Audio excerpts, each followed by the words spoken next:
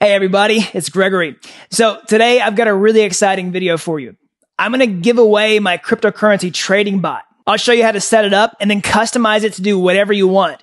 You know, algorithmic trading, flash loans, arbitrage, whatever. And you need to check this out because this could open up another source of income for you. And that's why being a blockchain developer is so crazy. I mean, other developers are basically limited to getting a job, becoming a freelancer, maybe building an app, but blockchain developers can do all this other stuff like build their own trading bots, take out flash loans, do cryptocurrency arbitrage. It's, it's crazy. So if you want to master these insanely valuable blockchain skills, then smash the like button down below for the YouTube algorithm and subscribe to this channel. And speaking of arbitrage, don't forget the flash loan masterclass is today. So if you want to learn to borrow millions of dollars in cryptocurrency with zero money down, then you need to sign up with the link down below before it's too late. All right, enough of all that. Let's get started. So before we jump into the code, let me show you what this bot does. All right, so first and foremost, it checks cryptocurrency prices. And then secondly, it trades cryptocurrency. It either buys it or sells it. All right, so it trades crypto. And it does all this natively on the blockchain. Everything's powered by smart contracts. So I'll show you how that works here in a minute. And so how can you use it? Well, you can take the bot that I've given you today and change it to do really whatever you want to. I'll give you some ideas right now. One, you can do, you can accumulate cryptocurrencies. You can do algorithmic trading. You can do uh, arbitrage and you can also do, you know, pretty much whatever you want to. I'll just put that in there. So now I'll show you how to set the bot up. Go ahead and uh, go to the GitHub page. There's a link down below. All right, copy this link and go to your terminal and type in git clone, and then paste the link in there, just like this. All right, so I've already done that, but I'm going to skip that step. And once you've cloned the repo, then go ahead and uh, do cd, you know, trading bot, and that'll enter into that newly created directory. And then once you're inside of here, uh, do a couple things. First of all, install all your node packages. Do npm install. All right, wait for that to finish. And then go ahead and open up the project in your text editor to make sure everything is set up correctly. Once you open the project in your text editor, you should see all these files here. Okay. So, uh, the file that you want to look at first is this .env .example file. So this is where we're going to store three really important pieces of information that we need in order for the app to run. Okay. So, uh, the first is the URL to an Ethereum node. The second one is a private key for an account that's actually going to trade the cryptocurrency. And the second is the, uh, account address. Okay. So, uh, go ahead and duplicate this file, duplicate it and don't call it .env.example, just call it .env. Okay. Um, so basically what it's going to do is going to copy the file with these settings here and create a .env file. So I already have my .env file created, so I'm not going to do this, but you need to do this and then fill out uh, these three fields right here. Okay. So we're going to fill out each of these individually. So first you need a private key and an account. So if you have an Ethereum wallet like MetaMask installed, this is pretty easy to do. If you don't, just install MetaMask by going to the Google Chrome Web Store, look for MetaMask, install a Chrome extension, and get that set up. Okay. But uh, once you open MetaMask, basically you'll see your account here. I'm connected to the Ropsten test network. That's what we're going to do everything on in this tutorial. Okay.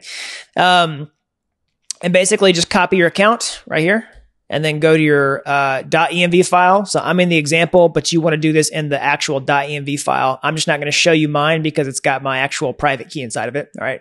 So uh, take your account, paste it in here, and then uh, go look for your private key details. There you go.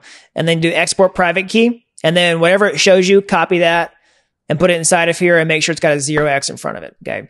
So I'm not going to do that, but, but you see how to fill each of these values out. So next you want to fill out this, uh, Infura URL. So this is basically uh, a URL to an Ethereum node. If you want to run your own node, that's just fine. But if not, um, you can sign up for Infura. It's pretty easy. Just walk through those steps. Takes two seconds.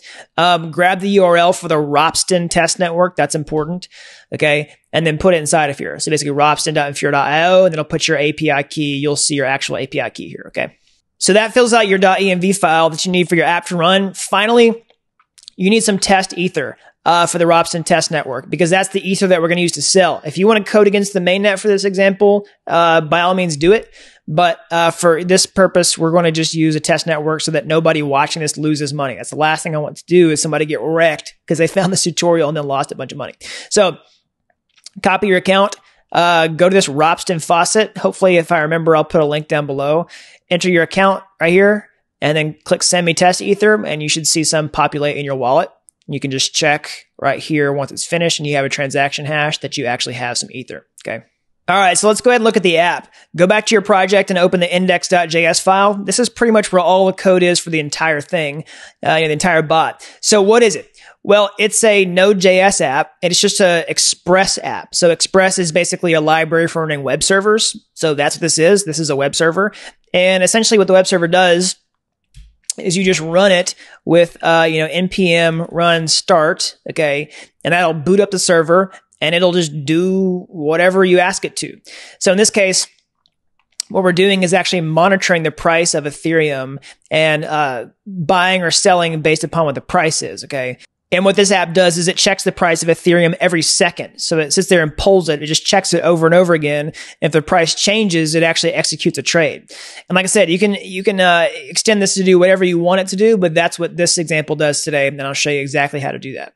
So let's just go ahead and take a look. I'm going to do npm run start and you'll see it, uh, just checking the Ethereum price. All right. So 260 over and over and over again. So we're checking in DAI, which is a stable currency. I'll talk about that in a minute. But basically, this is just saying that Ethereum is currently $260 and it's just logging that over and over and over again.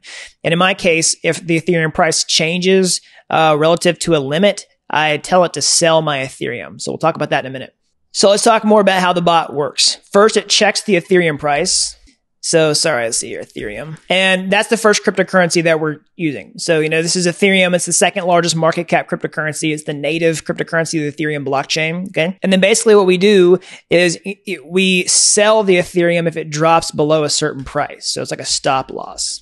All right. So basically it limits our liability. If the Ethereum price just starts tanking, then it sells the Ethereum and puts it into a different cryptocurrency. So which one? Well, we're going to use DAI. So DAI is a stable coin, which basically means uh, its price doesn't change.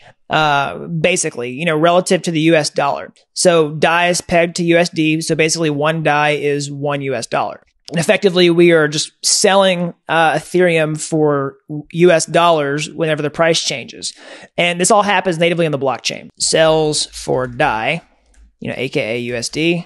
And so, yeah, it's powered by smart contracts. So, um, you know, DAI is a smart contract. That's the ERC20 token that governs the DAI stable currency. And then also the exchange is a smart contract. And we're going to use Uniswap. So this is Uniswap. Uh, basically, it's an instant cryptocurrency exchange. So if you just tell it, uh, you know, I have like one Ether and you select a token, uh, you can use DAI. Okay.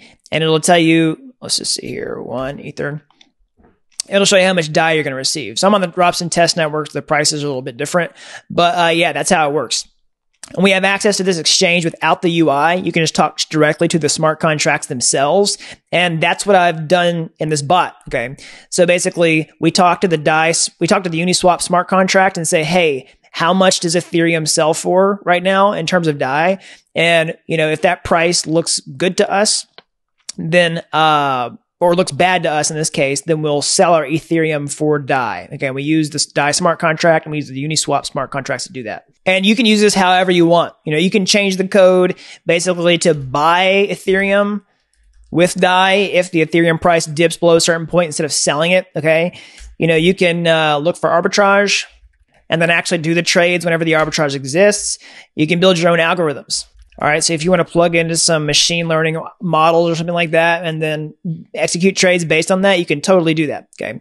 So, uh, let's go ahead and look at the code, see all the stuff works, show you how to run the bot. And, uh, yeah, you'll be good to go. So first of all, um, you know, here's just the regular configuration for the Express server. We import all the libraries, uh, do the Express configuration right here. Okay.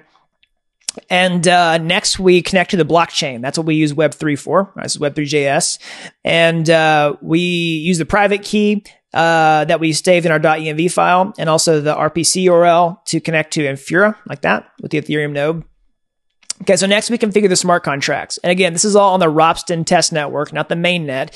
So if you start using this on the mainnet, First and foremost, be careful. Don't get wrecked. Second of all, uh, you know, you need to change these addresses to actually reflect the mainnet addresses. Okay. So this is the DAI stablecoin. Like I said, it's an ERC20 token powered by a smart contract. It is a cryptocurrency, uh, but we're going to use this to uh, buy DAI with Ether whenever we sell our Ethereum. Okay. So next, uh, this is the exchange. So this is for Uniswap. So Uniswap uses one exchange per cryptocurrency pair. This is the exchange that we use to uh, buy DAI with Ether slash sell Ether for DAI. All right, next we have some basic configuration. Um, this is the Ethereum amount. So um, we're, we're going to say basically if the price dips below a certain point, sell this amount. All right. In this case, we're just going to sell one Ether. I'm mean, I have more Ether in my wallet than one, but for this tutorial purpose, we'll just say one ETH. Okay. You could say all my ETH in my wallet. You know, maybe you could say a little bit, you know, whatever you want to do. You can just change that here. So the next is the price. So we're going to say if ETH drops below 200, then sell, you know, this amount here. Okay. So you could do this price to whatever you want to. You could say if ETH drops below a dollar, whatever it is. But this represents the USD amount, basically. So it's 200 DAI or 200 US dollar. So next is the function to actually sell the ETH. All right. So this is the ETH amount. You'll pass this in, like how much do you actually want to sell? And here's the DAI amount that you will uh, receive. So uh, here's the line where it happens. Basically, we use this exchange contract here from Uniswap and uh, we call this function right here. This is what actually sells the DAI for ETH. Uh, or sorry, sells the ETH for DAI or buys the DAI with ETH, however you want to think about it. And it passes all this information. Here's the DAI amount that gets passed in here. Here's the deadline, which Uniswap requires. Basically, I'm adding 60 seconds to this. And then you also want to do the transaction settings. So I put a high gas limit in here. This is an override. Um, the gas price doing 50 gwei. It's pretty fast, pretty overkill for the mainnet, but I just like keeping these tutorials quickly. So you might want to change this if you actually take this live. Uh, next, it reads your account from the uh, .env file. And next, it actually sends in the Ethereum amount uh, here. Okay. And it performs a swap, and gives you a transaction hash in the end. Okay. So next is the function to actually check the prices. All right. Or check the balances. So basically it's going to say how much Ethereum do you have in your wallet? How much DAI do you have in your wallet? And we'll log those out to the console. We'll check this out before and after the swap just to make sure the bot's running properly. Okay. Okay. So lastly is the actual function to monitor the prices. And, um, you know, it's a single function here that we call over and over again. So I'll go over this function in a second, but basically what it does is we uh, start the server and uh, we set this polling interval. Okay, basically every second we use set interval to call this function. We monitor the price. Okay, and we save that to a variable because you know whenever we uh, actually sell the Ethereum, we want to stop doing it. we don't want to keep like selling all the ETH from our wallet. And if there's an error, we also want to clear it as well. Okay. Okay, so let's get into the meat of this. So monitor price, uh, basically it checks the price and we, we store this in a variable. So basically, if it's already doing this, like don't keep doing it. Like say you put this down to like, you know, every millisecond or something like that, like something really small amount. If this function is still calling, we don't want to keep calling it. So that's what this is for. And we, we, we do it here. All right. So, um, next we have this sort of try catch block that does all this stuff. And, uh, you know, this is important because if you want to keep polling this, you might want to do some special logic in here. But here's the meat. Basically, so it checks the price. It tell you you tell it how much Ethereum amount you want to potentially sell, and it tells you how much DAI that would give you. So uh, basically, when you divide when you the DAI amount that comes back is basically the U.S. dollar amount. So that effectively gives you the Ethereum price. You just have to convert it to the with appropriate decimal places right here, and then we'll log this to the console. Okay. And then basically, if the Ethereum price is less than or equal to our limit, which is here, right, 200, all right, then we'll call this. Basically, we'll check the balances. This will just show you how much is in your wallet before and then how much is after. And in the middle, we'll actually do the sale. Okay. We'll pass in the ETH amount we want to sell. This is just a setting and the DAI amount that comes back from this contract here. Okay. And then finally, like I said, we'll stop doing this over and over again uh, once we've actually sold it. Basically, this is a stop loss that's going to sell everything from our wallet theoretically, and uh, we want the bot to stop running uh, if it actually goes through. Okay, so like I said, you can change its behavior to do whatever you want to, but that's how this works. Okay, so let's just run it. And uh, yeah, we'll see it's logging at the price 260, 260, 260 over and over and over again. It's not dropping below our threshold. So it doesn't actually do a sale. So let's change the setting to actually call this. I don't want to sit here and wait for the price to change. I mean, who knows when that's going to happen, but, um, let's see here. Let's go to our price. Yeah, let's just change it to 300. All right. This will, this will call the function. Okay. So let's just change it. You know, it's below 300 here. So it's going to, it's going to actually do the, the sale. So let's just run it, watch it happen. All right, it worked. You can see it here. Successful swap. So I'll go ahead and copy this transaction hash here, put it in my web browser. And there we go. You can see that uh, I sold the Ether for 260 DAI right here. So effectively, this was the US dollar price of Ethereum at that point in time. And again, this is on the Ropsten test network. All right, that's all I've got. So that's how you build a cryptocurrency trading bot. And again, you can take this code to do whatever you want to do. You know, check prices, look for arbitrage, create your own algorithms. Like this is yours. Do whatever you want. So yeah, this is what you can do as a blockchain developer. You know, most other developers are really limited to getting a job, become a freelancer, maybe building their own app. But like with blockchain, you can do so many things with currency, finance, trading, and you can build your own cryptocurrency. You can trade cryptocurrencies with bots just like this. And that's one of the reasons that blockchain is so amazing. So if you want to master blockchain skills, then you need to check out these tutorials that I put out on YouTube. Okay. They're like Udemy courses, but free. This is a three hour course along with a step by step written guide over on my website at dappuniversity.com. And this takes you through everything like what is a blockchain? How does this app work? How do you learn the programming languages, etc., etc.